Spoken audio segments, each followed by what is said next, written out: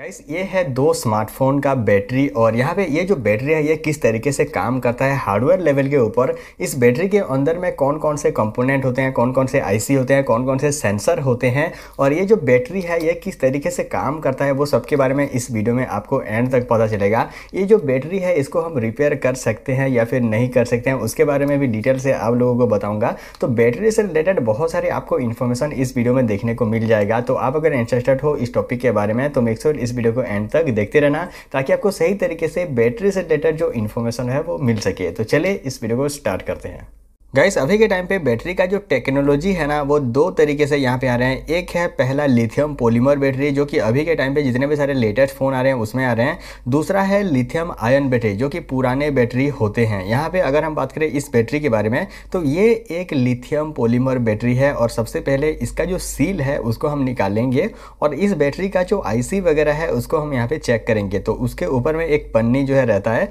तो हम इसे ईजी से निकाल सकते हैं। यहाँ पर आप देख सकते हो कि किस तरीके से मैं ये यहाँ पे निकाल रहा हूँ। तो इसको निकालने के बाद में यहाँ पे आपको देखने को मिल जाएगा बैटरी का जो मेन आईसी सिस्टम है, जो कंपोनेंट है, वो आपको यहाँ पे देखने को मिल जाएगा। यहाँ पे बैटरी का जो आईसी है, वो बहुत ही ज़्यादा नाजुक चीज़ के साथ में जो है बंधा हुआ रहता है तो इसे आप ईजी से खोलिएगा। यहाँ पे एक प्लास्टिक प्रोटेक्शन भी दिया हुआ रहता है। अगर हम बात करें इस बैटरी के बारे में तो यहाँ पे आपको दो टर्मिनल देखने को मिल जाएगा। एक है प्लस दूसरा है माइनस और यहाँ पे इजीली आप इसे फाइंड आउट भी कर सकते हो, क्योंकि यहाँ पे लिखा हुआ रहता है कि कौन सा प्लस है कौन सा माइनस है यहाँ पे आप अगर ध्यान से देख पा रहे होगे तो यहाँ पे ये वाला जो है प्लस है यहाँ पे लिखा हुआ है दूसरा है माइनस यहाँ पे लिखा हुआ है बी प्लस बी माइनस करके यहाँ पे अगर हम बात करें इस बैटरी के जो मेन आईसी कंपार्टमेंट है उसके बारे में तो यहाँ पे आपको बहुत सारे छोटे छोटे जो जो चीज़ें हैं वो देखने को मिल जाएँगे यहाँ पे आप अगर ध्यान से देखोगे तो बहुत सारे कंपोनेंट हैं जो कि आपको यहाँ पे देखने को मिल जाएँगे तो यहाँ पे आप देख सकते हो टर्मिनल के आसपास में सारा जो कंपोनेंट है वो यहाँ पे दिया हुआ रहते हैं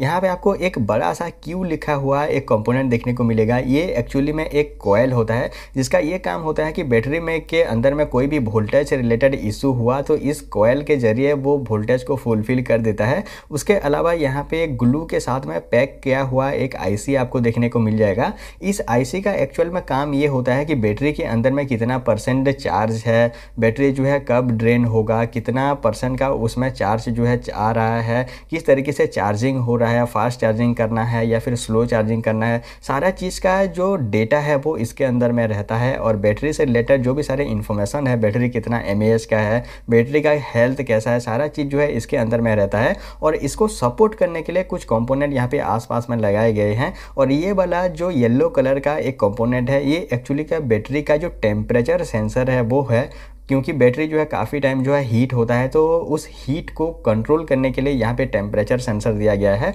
उसके अलावा हम बैटरी में देखें तो यहाँ पे आपको बैटरी के जो टर्मिनल है, वहाँ पे आते हैं तो कुछ पिंस यहाँ पे आपको देखने को मिलेगा एक प्लस दूसरा है माइनस और बीच वाला जो सिस्टम है, दो पिंस यहाँ पर दिए गए हैं, उसे हम कहते हैं बेस और ये जो बेस है, ये डायरेक्टली आईसी के साथ में कनेक्ट होता है और आईसी का जो टोटल इन्फॉर्मेशन है, वो इस बेस के ज़रिए हमारे फ़ोन के जो मदरबोर्ड है, उसके साथ में कनेक्ट होता है। यहाँ पे सारे बैटरी में आपको यही सी मैकेनिज्म देखने को मिल जाएगा। ये जो बैटरी है, इसमें भी आपको एक प्लस दूसरा माइनस और बीच वाला जो सिस्टम है, वो आपको बेस देखने को मिल जाएगा। ये जो बेस होता है, ये बैटरी का जो डेटा है, उसको मोबाइल फ़ोन के जो प्रोसेसर या फिर मदरबोर्ड है, उस तक भेजने का काम करता है और प्लस और माइनस के ज़रिए जो करंट है, वो आपको भेजता है। तो यहाँ पे हर एक बैटरी में जो बेस है, वो इजीली आपको देखने को मिल जाएगा। और यहाँ पे आप किसी भी बैटरी में जो बेस है उसे इजीली फाइंड आउट कर सकते हो। तो गाइस अभी तक आपने देखा कि बैटरी के अंदर में कौन कौन से कंपोनेंट होते हैं और वो किस तरीके से काम करते हैं। अभी मैं आपको बताता हूँ कि बैटरी से रिलेटेड कुछ प्रॉब्लम को आप कैसे फाइंड कर सकते हो और किस तरीके से आप उसे सॉल्व कर सकते हो।